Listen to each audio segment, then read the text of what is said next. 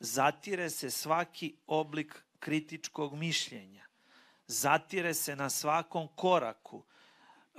To je društvo, znate, jednoumlja. To je društvo u kojem ne možete slobodno da saopštite svoje mišljenje.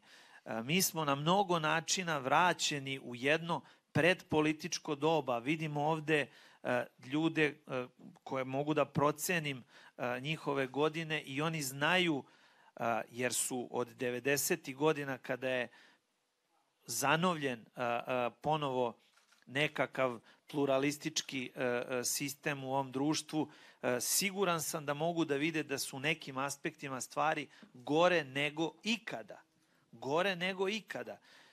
Pazite, postaje normalnost to da mi ne možemo da se sa vama sretnemo u nekakvom pristojnom okruženju, jer ne možete za novac da dobijete neko mesto. Dakle, ne da vam neko da i pokloni i ne znam šta, nego ne možete ni da ga, da ga iznajmite zato što ste to bož, ne znam, pretnja državi.